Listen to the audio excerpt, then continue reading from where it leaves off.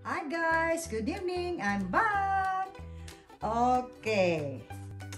Samahan niyo ulit ako mag-flower arrangement since marami akong gagawin. I-share ko na rin sa inyo kung anong gagawin kong ah, flower arrangement. Ah, siguro mag-aalauna na dito. Madaling araw. What time is it, Ken? Because when I went downstairs, it's like 12 something. What time is it now? 1? Past 1 o'clock? AM? Okay. O sige, hanggang gising ako. Samahan niyo ako. Samahan niyo ako. Okay. Ito lahat ng mga gagamitin natin.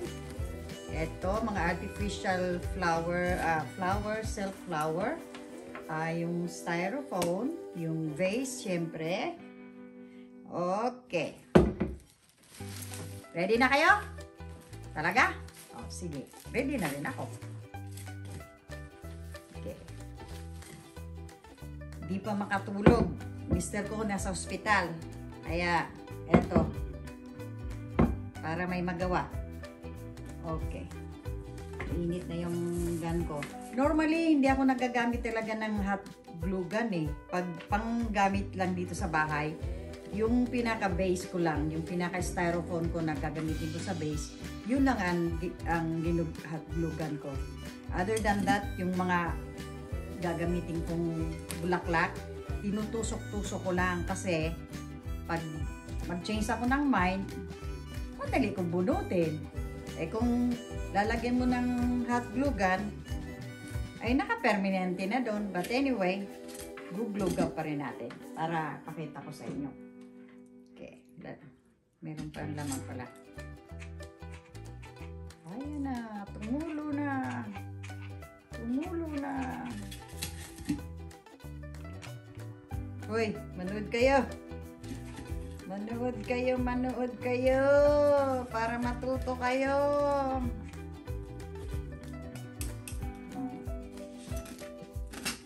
Okay. Napasok na. Unang gagawin natin, lalagay muna natin mga green. Okay. Okay, let's pretend na iguglo ko ha. Isa, isa sak sak sak sak ko lang. Pero let's pretend na iguglo ko siya. Para mas madali ipakita sa inyo. Okay? Okay, let's pretend na may glue na lang yan. Pero glino ko yung ano, pinaka styro sa baba. Unang gagawin natin to, papaligid man natin yung mga green para mapuno yung vase.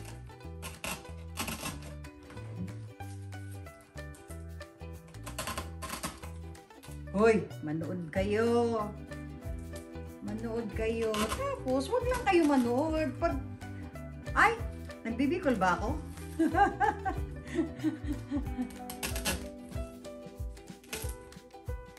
Wala. Makatapos yung manood, click nyo yung share, click nyo yung subscribe, at click nyo na rin yung doorbell. Para mas madali, ano, kasi kung mag-glog-glog pa tayo, abutin tayo ng siyam-siyam. So, let's pretend naglino natin yan, di ba? Ipinaligid na natin. Meron pa dito para mapuno siya. Kita nyo?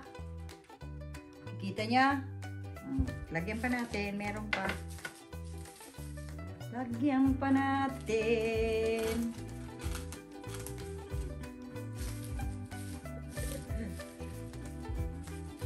Gusto ko sana kayo isama mag-fishing kaso malamig pa eh.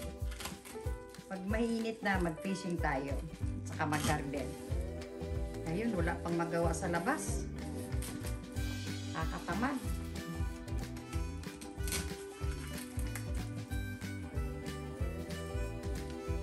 Ganyan lang. Sok, sok, sok, sok. Sak, sak, sak, sak.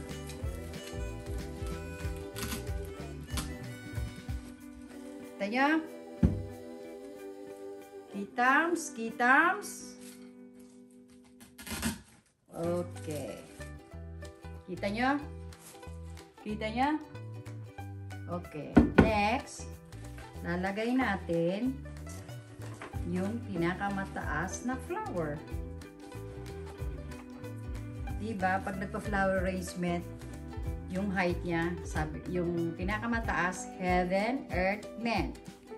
Kaya, yung mataas muna, yung heaven muna. So, let's pretend na ano ha, sabi ko nga, glino na. Glino na, kunwari glino na natin yan. Pinapakita ko lang sa inyo kung paano ko ginagawa. Kasi para lang ito sa dito sa bahay, kaya hindi ko na ginuglo. Kasi pag nagsawa ko nito, papalitan ko, madaling matanggal. Walang glue. Kikita nyo? Huwag kayong antukin. Pag inantok kayo, magtimpla muna kayo ng kape. Dili.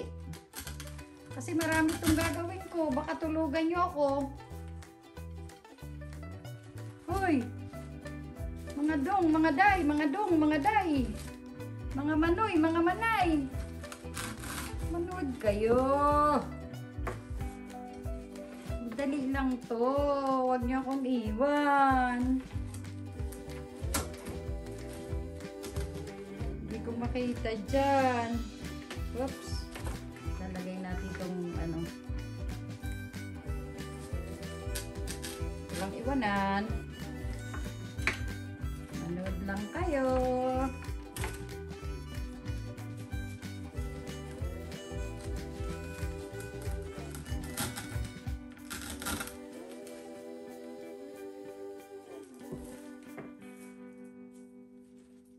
Kumusta? Kumusta? Kumusta? Kumusta ka mga taga-pulot? Ah, Sheila. Kumusta kayo dyan? Naglilinis ba kayo, Sheila? Naglilinis kayo ng kubo, Sheila? Tinatawagan kita kanina, Sheila. Hindi ka sumasagot.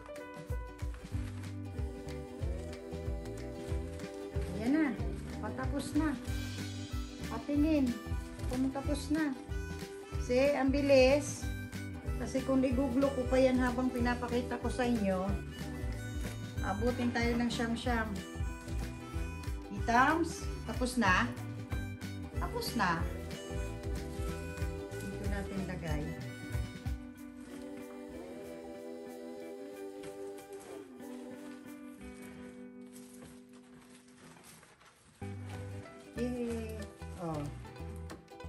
Na. Kita nyo? Tapos na. Ah, nga pala. Ang pag nagpa-flower arrangement, may dalawang klaseng ano, dalawang klaseng foam. Dalawang klaseng foam. Yung soft, ginagamit ko sa fresh. Fresh flower arrangement. Yung ginamit ko kanina sa sa dried flower o sa artificial flower, ito yun, yung matigas. Matigas. Hindi, hindi to pwede sa sa ah, fresh flower kasi hindi nasusok ng tubig kasi matigas siya. Ito, pag linagay mo sa tubig, sinusok yung tubig kaya itong ginagamit sa fresh flower. Okay, pangalawa, gagawa tayo ng lagay ko to para makita nyo. May luma akong molding tray. May luma akong molding tray. Itong gagamitin natin. Kung tutuusin, lalagyan dapat to ng, ng styrofoam. Dito, kakat mo to, lalagay mo doon, para dito mo itutusok yung kung ano ilalagay mo na bulaklak dyan. But, sabi ko nga, para lang dito ito sa bahay. So, let's pretend na lilagyan ko ng styrofoam. Okay? Una, gagawin natin ay kukuha tayo ng something green. Okay. Ano? Sige na nga. Sige na nga, para makita nyo. Magputol lang ako. Sige na nga. Tulin ko na to. Pero hindi ko iguglo ah. Kasi nga, pang, lang to. Dito lang to sa bahay. Para next time, pag may gusto akong gawin, magagamit ko yung vase. May papakita ko na naman sa inyo yung ibang style. Kung may gugulo ko na lahat, tsyuk! Yeah!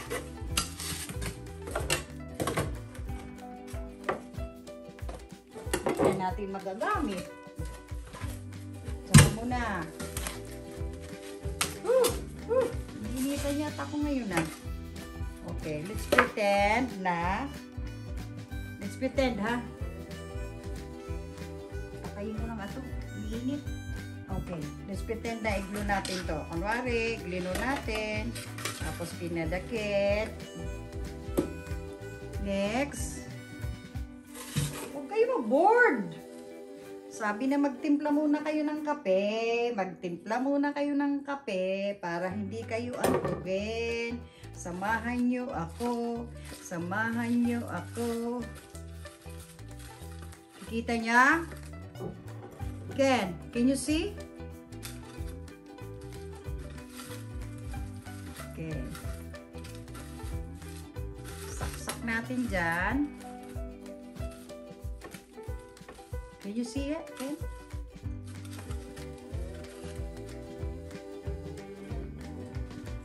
I. I can't see it. I can't see it.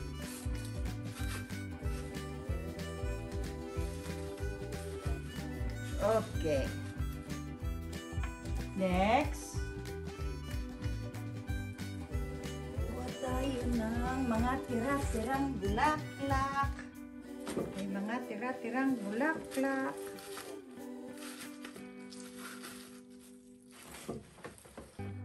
Kitita, can you see it here, there, Ken? Okay, may mga tira akong bulaklak. Ka dyan. saksak.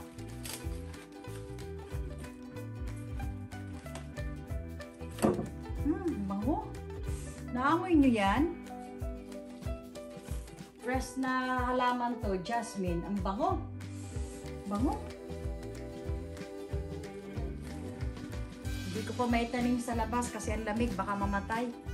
Kaya dito ko muna sa bahay, parang from air, air freshener. Ang bango. Can you smell it? Smells good.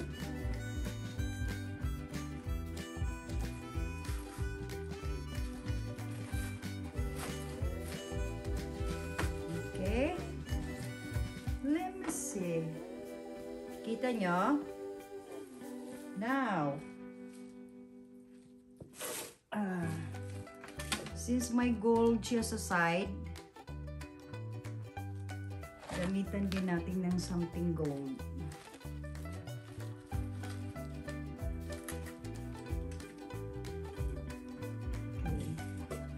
So, let's pretend na ano ha, ginuglo nyo to. Pero sasaksak ko lang dahil panggamit ko lang ito, ito sa bahay. Pinapakita ko lang sa inyo kung paano para may idea kayo.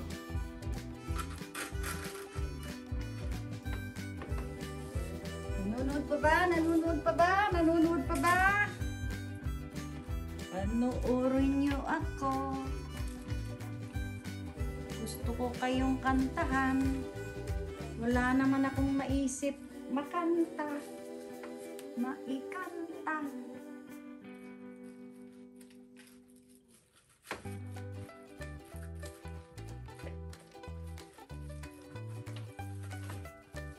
Bibisi. Oops! Huli ka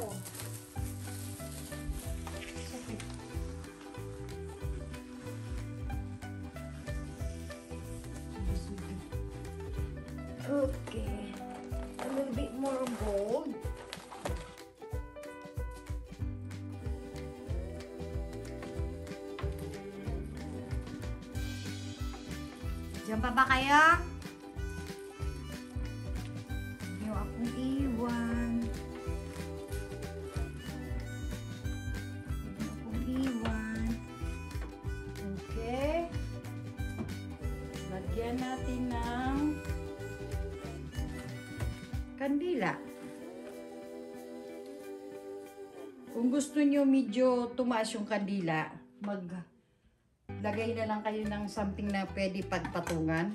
Kung gusto nyo, kung gusto nyo, medyo mataas yung kandila. Ganyan. Hindi naman makikita yung ano, papatong nyo eh. Then, lagay natin to.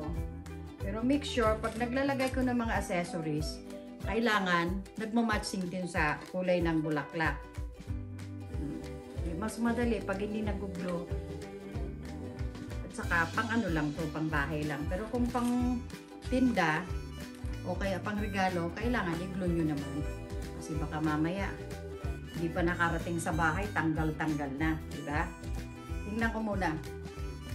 Kung okay na. Oh, di ba? Okay na? Ano? Ayos? Okay na kayo dyan?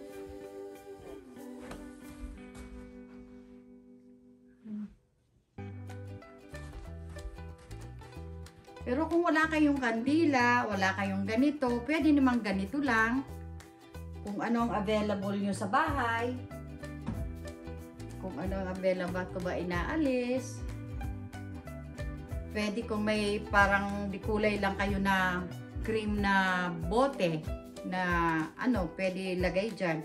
Ordinary na kandila, pwede naman kahit ano na magmamas sa kulay ng, ng bulaklak nyo. Wala akong mahanap. Ito, something gold. Na magmamas doon sa dito. Kunwari wala kayong kandila. Any ano, ordinary candle pwede nyo naman ilagay dyan. Kunwari may ordinary candle kayo, lagay nyo yan dyan. Tapos kandila na ordinary. Pwede naman kahit ano. Kung ano yung nasa bahay nyo na ano. Kahit nga anong bote, vase. Hmm, ganon. Okay na. O, break muna kami. Ay, kami. Ako pala. Kasi nauuhaw na ako. Para akong ininitan eh. Okay, break muna. Break!